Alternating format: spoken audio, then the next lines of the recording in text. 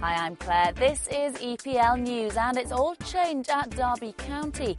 Following the split with manager Billy Davies, Paul Ince is the favourite to succeed him at the club languishing at the bottom of the table. The MK Dons boss has guided his side to the top of the Coca Cola League Two. Some bookies have suspended betting on the former England man taking over at the helm at the Rams. There are other contenders, though. Derby chairman Adam Pearson says he's got a short list of three to fill the vacant manager's chair at Pride Park, and he'll be talking to them all today.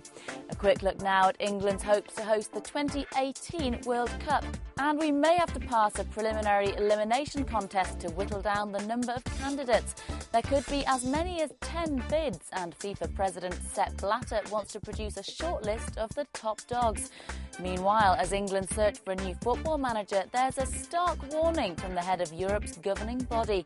UEFA President Michel Platini says the country needs a homegrown coach or it could lose its identity. The Frenchman's hinting at the number of foreign players in the Premier League. He reckons it's having a negative effect on sport in the UK.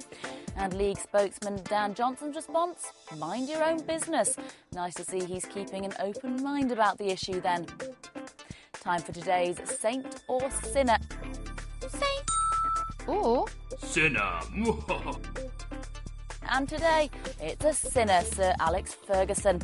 The Football Association's charged the Man United manager who's accused of using abusive and insulting language towards an official. The action comes after the Red Devils boss was sent to the stands during his side's defeat at Bolton. The Scot has until the 11th of December to issue a response to the FA. He'd better make it a polite one. That's it. See you tomorrow.